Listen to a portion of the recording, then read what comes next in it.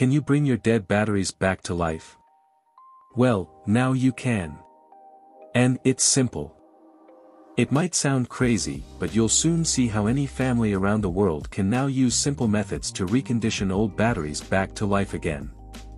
So now, instead of buying new, overpriced batteries every time one gets old or dies, you can reuse them instead and save money.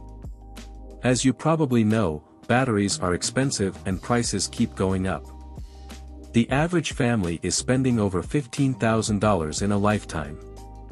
How much of your hard-earned money do you spend on replacement batteries for your car, tools, laptop, cell phone, electronics, and other devices? And to make matters worse, the demand for batteries is skyrocketing because our modern world continues to require more devices and vehicles that are solely powered by batteries. If your batteries die, don't throw them out.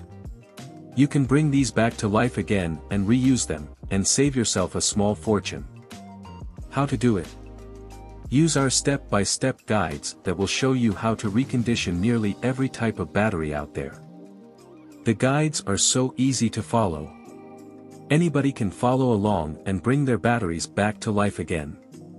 To get started, click the link in the description box.